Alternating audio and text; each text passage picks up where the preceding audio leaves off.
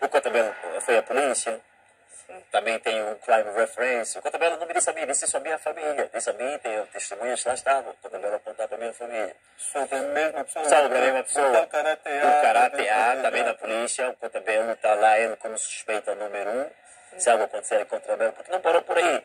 Foi da ex-mulher do Cotabelo, uma brasileira. Apareceram dois monstros, dois homens grandes lá na casa do Cotabelo. Estás a ver? O Cotabelo a sofrer aquele terror disse: Eu não sou, também sou inocente, eu sei de onde está a vir. Exato, assim mesmo. Estás a ver? O Cotabelo, ah, ah, ah, em tempos, o Rosário, só para tu perceberes, né? O Cotabelo entrou em depressão, pá, em tempos o Cotabelo sofreu um ataque eh, cardíaco, depressão, foi depressão. fruto dessa- Fruto desse mesmo monstro que diz, que agora e tenta inverter, dizer que o Cotabelo foi minha Mas- vítima. mas, Mas o Cotabelo explicou isso à minha família. O dia, o, dia ontem Nelo, estás aqui meus irmãos, como vocês puderam ver, eu primeiro estava 100% seguro que Nero Fox estava a usar o cotabelo. Mas durante os seis meses da minha investigação, pessoas com quem eu falei me disseram que o cotabelo estava por detrás de toda essa cabala. Cotabelo é daquela pessoa que atira fogo e foge. Ele foi usado pelo Nelo Fox. Porque o que, é que o Nelo Fox fez? O Fox mandou as irmãs dele, as mais fofoqueiras de Londres, a Martuxa e a Mações, chamarem o Cotabelo.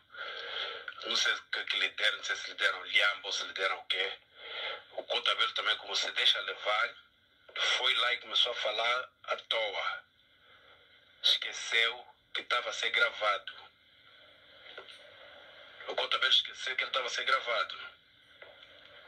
Mas como esse manipulador do Nelo Fox usou a psicologia, aproveitou-se das irmãs dele e aproveitou da informação que o Cotabelo deu nas irmãs dele para dizer que não, o, o Cotabelo entrou em depressão porque foram lá homens grandes na casa dele e o Cotabelo...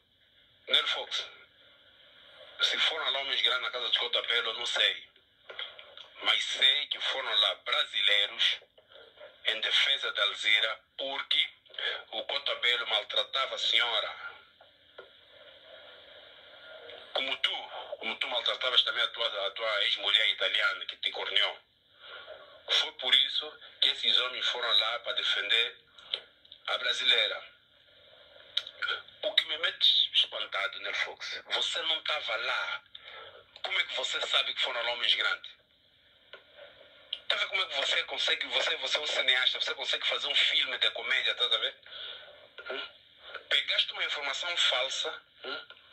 levaste no outro fofoqueiro como tu, que é o Rosário Vuns, que usa os microfones que para fazer cabala contra as pessoas. A mesma coisa que o Rosário Vuns fez no Queiroz, aliás, no Kikas, o filho do Queiroz, é a mesma coisa que vocês estão a tentar fazer com esses dois rasta. Fizeram uma entrevista privada, só vocês dois, uma entrevista que vocês, me percebi depois que ensaiaram durante três meses. ah, O Rosário Vuz já te meter palavras na boca para você falar. Tudo isso para quê? Para vocês condenarem pessoas hum, que não vos dão confiança, pessoas que não param no vosso meio. Até que tiveste a coragem de você mandar fazer um vídeo ameaçarem como estou em Angola, hum, que é para ter ênfase essa tua entrevista. Ele falou que isso é perigoso. Alzira ficou estupefacta quando te viu você enaltecer o Cotabelo. Você e o Cotabelo são inimigos, vocês são cão e gato. Você esqueceu que você chamou o Cotabelo de gay.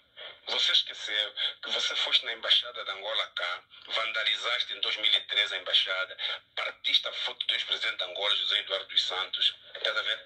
Hoje em dia, hoje em dia, você está aí armado em, em, em fino, armado em, em, em- em empresário. Você, você, é empre- você é empresário da onde, Nelo? Até agora, ainda não vimos o nome da tua empresa. Não conhecemos o endereço da tua empresa. Ainda não ouvimos que a casa que já a, casa compraste na Inglaterra. Ainda não vimos que compraste a casa em Angola. O processo que está na, P, na PGR até agora, ninguém foi notificado. Onde é Fox? Na tua entrevista, só faltou Rosário Vuz dizer que você é diretor da Ação Angola, que já foste diretor da Ação Angola. Tudo isso por quê? Porque você pagou dinheiro no Rosário Vuns. O Rosário Vuns é outro fofoqueiro, é outro problemático. Ele usa os microfones dele, que é para fazer campanha contra as pessoas. Por dinheiro, o Rosário Vuns é capaz de fazer tudo. Hum? Foi a mesma coisa, repito, que ele fez com o Kikas, o filho do Queiroz. Passava com os microfones dele no campo onde estava os angolanos a jogar para falar do Kikas, que o Kika é pedófilo, que o Kika fez, que o Kika deixou de fazer. Hoje em dia, onde é que está o Kikas? Não sabemos o paradeiro do Kikas. Não sabemos o paradeiro do Kikas. Vocês parem, parem de estar perseguindo pessoas. Nós agora já conhecemos quem são vocês. Rosário Vuz está aí porque ah, nós estamos aqui para a União dos Angolanos. Não, não, não, Rosário Vuz. Você é outro. Você é outro protagonista. Você, você, você traz problema na sociedade angolana. Nós não queremos aqui homens como tu. Você não é representante dos angolanos, Rosário Vuz. Jornalismo, todos nós sabemos fazer. Todos nós sabemos fazer, só que nós somos imparciais. Você recebe dinheiro, Rosário Vuz. Não, nós não recebemos dinheiro. Nós fizemos jornalismo hum, e demos razão a quem tem razão. É? Para de estar dizendo que o Nelo Fox é empresário. Para. Nelo Fox não é empresário. Nelo Fox é estafeta. Ele é delivery driver. E mais nada. Para, para de estar perseguindo as pessoas, por favor. É?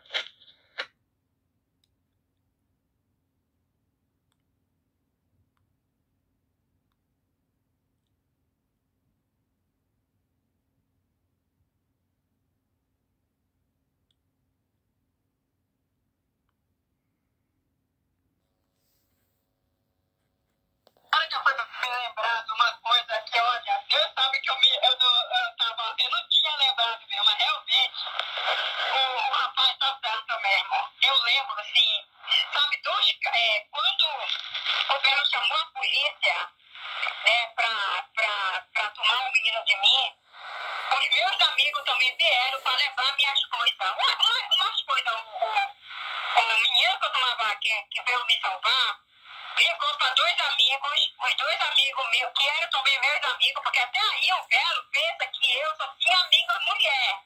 Eu só começava com mulher, mas o, o Belo nunca viu a quantidade de macho que eu tinha, de amigos homens mesmo, que são de São Paulo, esse, é, são homem mesmo da pesada mesmo, né? Então, um menino do exército ligou para meus amigos, que também são amigos dele também, foi lá também para ajudar a levar minhas coisas. Foi aí que veio o meu amigo, o meu ex-patrão, e chamou o irmão dele. Porque quem foi lá foi o meu ex-patrão, que eu trabalhei na casa dele, um, um brasileiro. E, e, e trouxe o amigo do o irmão dele, foi que foi ajudar a levar o resto das minhas coisas. E depois, no outro dia, quando foi no sábado, a polícia foi lá, né? A polícia foi lá, teve presente na casa do Belo para retirar todas as minhas coisas de lá. Mas a polícia estava lá. Então ele usou isso como fosse uma. uma é, como se os caras tivessem invadido a casa dele as coisas, não. Os meus amigos foram lá, juntavam meus amigos, que eram só dois amigos, com outro que me ajudou, que foi morar na casa dele, foi ajudar a levar o resto da coisa. Para quando fosse no outro, no outro dia eu já pegar a coisa já não tão pesada. Já era falar assim, pega o que tu vai precisar para levar, que vai te fazer falta. Aí foi eu levei a roupa do Samuel, fui levar as coisas do Samuel, aí depois eu peguei o.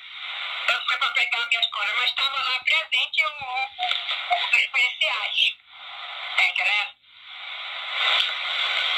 Os dois caras estão invadissem lá a casa dele. Não, isso aí é mentira. Foi o, foi o meu amigo que foi me ajudar para levar as coisas do Samuel. O meu amigo grande, o policial, grandão mesmo, que tu olha pra tu vai, tu vai, tu vai, tu vai, tu vai ter dúvida. Porque ele é, o, o meu amigo, ele é parecido muito com o Samuel. Ele é muito maior do que o Belo, é um negão, grandão. Ele, é, ele era é, policial no, no, no Brasil, acho que veio pra cá, né? Veio, veio pra cá. E, e aí tu amigo do. Ele é, é amigo do ex-patrão, que eu fui conhecer, depois fui ser meu amigo. Quando ele falou isso, que um, foi- um amigo falou pro outro, olha, Alzira arrumou um, um negão lá que tá dando porrada nela, quer expulsar ela, quer fazer isso. Eu tenho um, um ex, sabe aquele, aquele. ah, Esse meu amigo chamou todos pra vir, os meus amigos, todos os amigos dele pra vir me ajudar. Aí isso, esse negão, esse negão aí da polícia, que é muito maior de campo, aí esse o cara ia se cagar de mim. Esse o cara se cagava. Isso.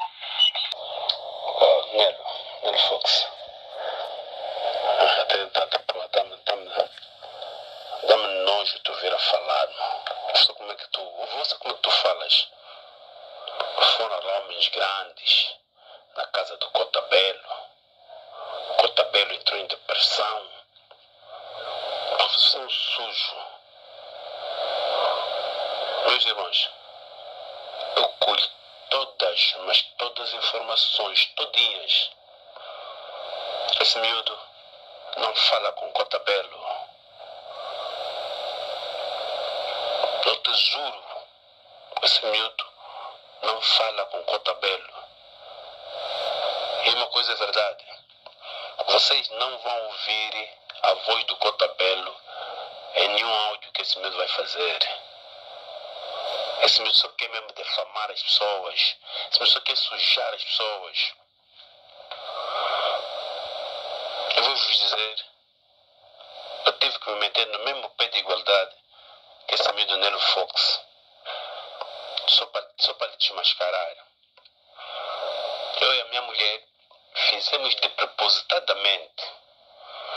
Peguei o número da brasileira, peguei o número do Cotabelo, que me desligou o telefone na cara, hum, peguei o número de algumas pessoas do Acne, peguei o número do Karate A, peguei o número do Nick, peguei o número do Karate B. O Karate B disse, pô, isso é azar, meu. Escutem aqui o que, que a brasileira vai falar. Hum? Little Fox, e o Cotabelo é igualzinho a ti. Cotabelo maltrata as mulheres. Cotabelo não sabe dar carinho às mulheres.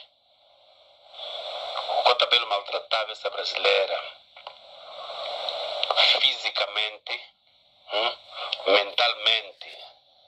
É a razão pela qual foram lá esses homens grandes. E para a tua boa informação, esses homens que foram lá são brasileiros. Foram lá em defesa de Alzira. Porque Alzira explicou nos conterrâneos dela que estava a sofrer maltratos dentro de casa. Inclusive até foram lá polícia também na casa do Cotabelo. Mas o Cotabelo, como era o dono da casa, hum, ele saiu com a vantagem. Você vai escutar aqui a voz da brasileira. O grande problema, Nelo, é que você quer fazer entender à comunidade que quem mandou esses homens grandes é, é o caráter A. Você tem, você tem problemas sérios, Nelo. Você é mesmo invejoso. Hum? Vocês vão ouvir aqui a brasileira falar. Meus irmãos, não se deixem levar pela boca desse medo Nelo. É que depois de algum tempo, esses tais homens grandes que ele está a falar, o Nelo Fox está a falar, foram mesmo confrontar o Cotabelo, a dizer, mas por que, que você faz isso numa mulher que você vive com ele dentro de casa? Mas tudo pacificamente. Escute a brasileira falar. Nelo Fox, você quer fazer acreditar os angolanos aqui em Londres é? que isso tem a ver com caráter A? Nelo Fox, tudo isso é ódio, é inveja. Porque você desconfia que esses homens envolveram-se com a tua mulher, a Sara Uva, a italiana. O que te contou. Hoje em dia, tudo está a vir à superfície.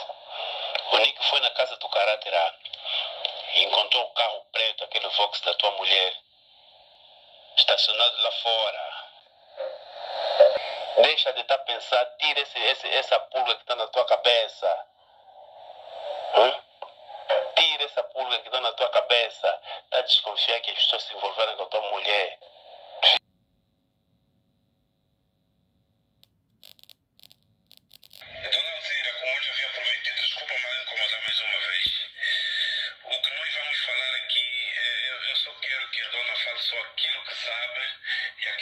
não vale a pena falar, porque o que eu quero aqui é só desmascarar algumas coisas que esse miúdo negro falou na entrevista dele com o senhor Rosário Vunge. E o, o facto de eu ter contactado a senhora foi porque ele citou o, o seu nome na entrevista. Brasileira, a esposa do, do, do, do Cotabelo, sim. A única brasileira que foi esposa do, do, do Cotabelo, eu sei da senhora. Não, eu sei, mas eu não fui esposa dele. Eu fui a namorada dele. Mornings. Uh,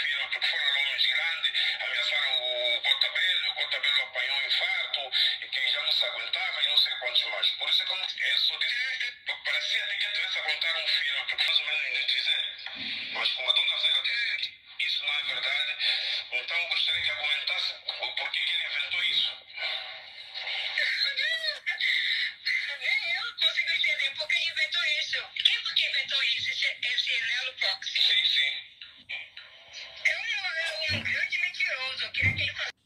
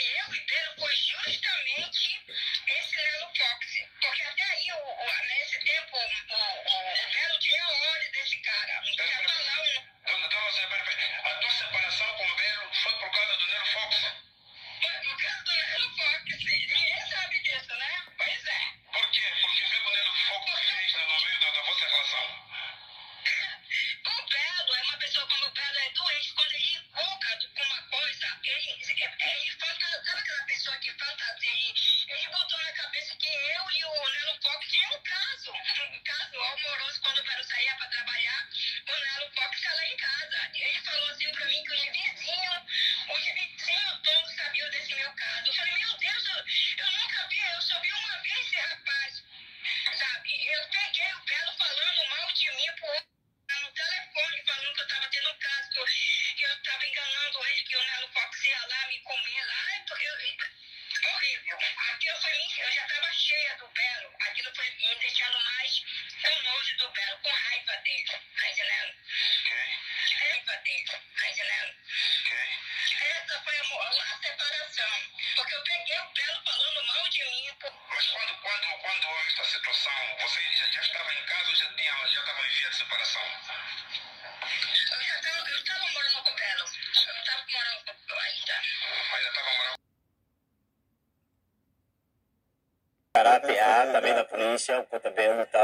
como suspeita número um.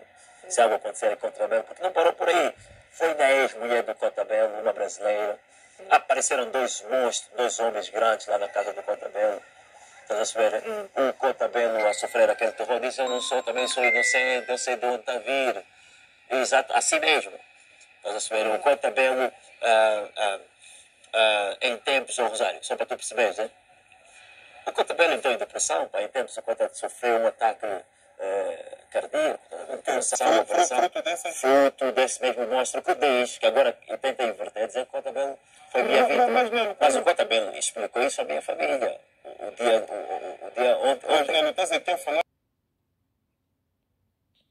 Vocês eh, já escutaram o, cará- o caráter F do Nelo Fofoqueira dizer que quando o Cotabelo contou a história dos homens grandes, a sua família, nesse caso a Massocha Martuxa, outra fofoqueira sem ocupação, ele não estava lá.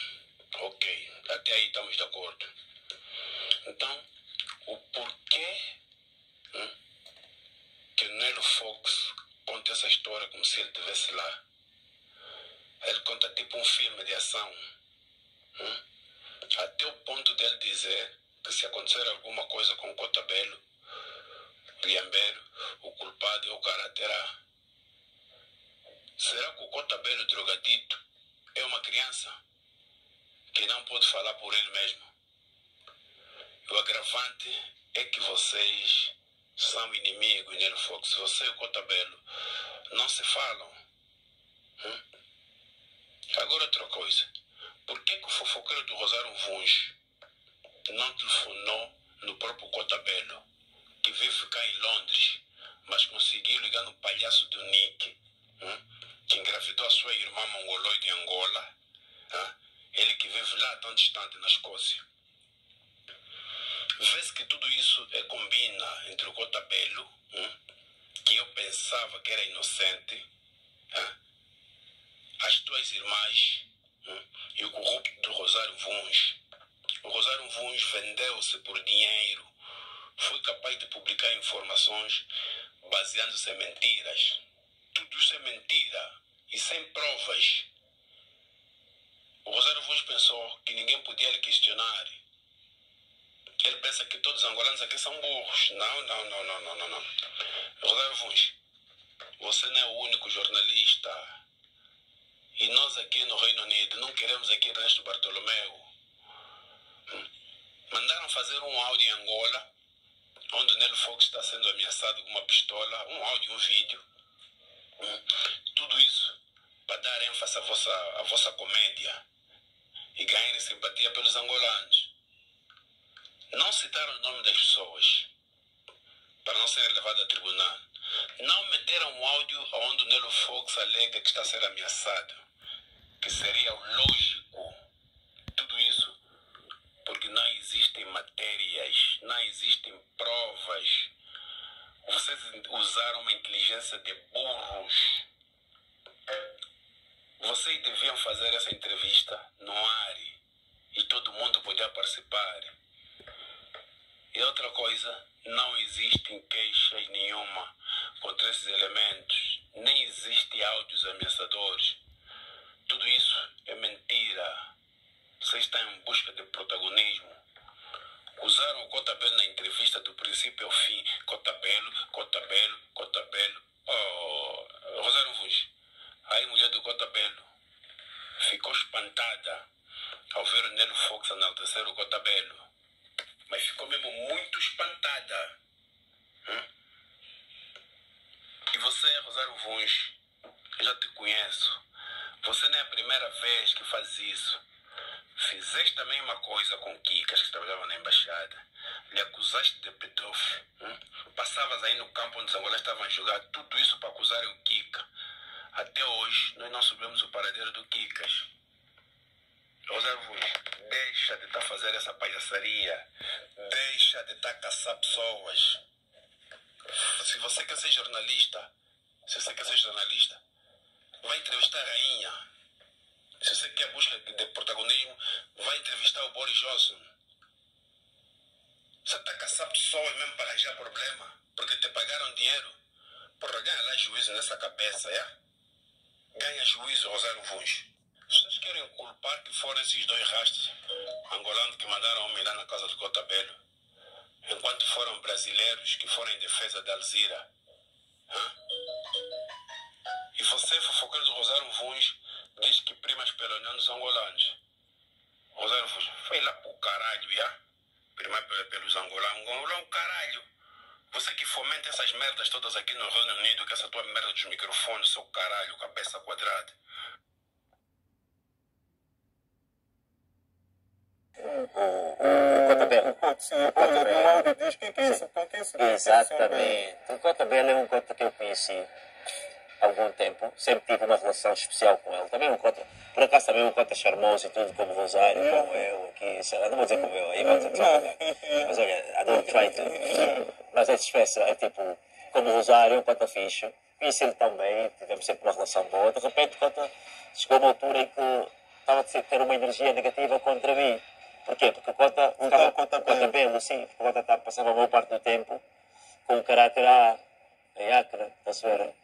Mas, segundo o Cota Belo, ele dizia que em todos os santos os dias, hein, o caráter A era só uma ira negativa contra mim, isso, aquilo, sempre. E o Cota Belo foi observando, houve uma altura que o Cota Belo quis, quis arranjar confusão e tudo comigo, mas é pá, mas quando depois chegou a um senso, não? E o tentou- o tentou me virar perante alguns amigos que, eu- que tínhamos em comum, mas não conseguiu, não teve êxito na sua O Com base naquilo que eu via de sobre a tua é, pessoa. sobre, lá em Acre, já com o karatê A, tá a saber? Mas